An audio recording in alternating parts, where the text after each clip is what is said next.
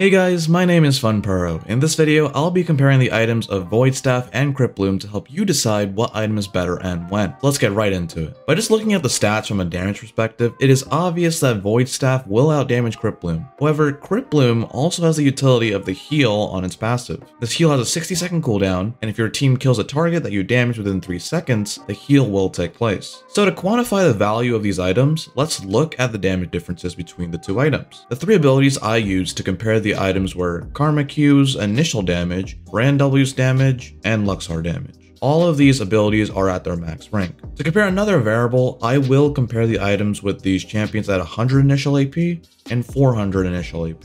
Let's look at Karma first. The MR column stands for magic resistance of the enemy. The Void Staff column represents the damage of the champion with Void Staff. The Cryptbloom column represents the damage of the champion with Cryptbloom. And Void minus Cryptbloom is the difference in damage calculated by subtracting Cryptbloom's damage from Void Staff's damage. Looking at Karma's damage difference, there is a minor damage difference. It's important to note that as AP increased, the damage difference also increased. However, the difference still does seem small. Let's look at other champions. Here's Brand W's damage. Again, the difference is small. The difference did increase by increasing AP again, but the difference is still small. Here's one more case. Here's Lux R damage. Again, the difference is small. So now let's look at the heals when comparing the 100 AP and 400 AP. So here's the 100 AP tables again, and now here's the heal that you could get. The heal magnitude is a lot greater than the difference of the damage. Let's also see the heal at 400 AP. So here are the tables again for the 400 AP cases. Now here's the heal